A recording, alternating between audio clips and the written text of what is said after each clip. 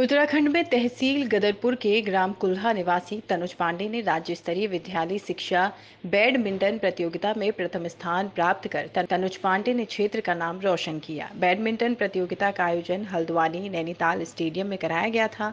तनुज पांडे राजकीय उच्चतर माध्यमिक विद्यालय कुल्हा में कक्षा आठ के छात्रा हैं। पांडे आने वाले समय में राष्ट्रीय बैडमिंटन प्रतियोगिता में उत्तराखंड का प्रतिनिधित्व करेंगी।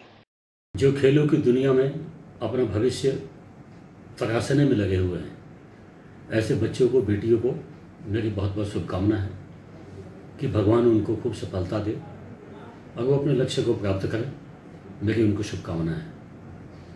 आप लोगों के आशीर्वाद से जब इस प्रदेश का खेल मंत्री बनने का मुझे मौका मिला, मैं तो ग्रास रूट का व्यक्ति हूँ, जमीनी आदमी हूँ।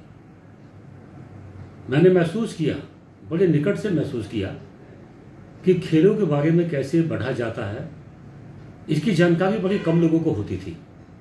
इसीलिए खेलों में ज़्यादा बच्चे इंटरेस्ट नहीं लेते थे। जिनको जानकारी थी, कैसे आगे बढ़ाया जाता है, सीढ़ी कैसे होती है, वो बढ़ते गए। कम लोग बढ़ते थे।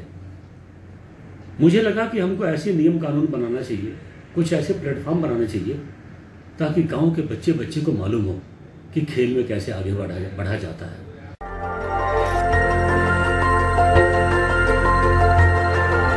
देखते रहिए डीबी भारती समाचार। नज़र हर खबर पर।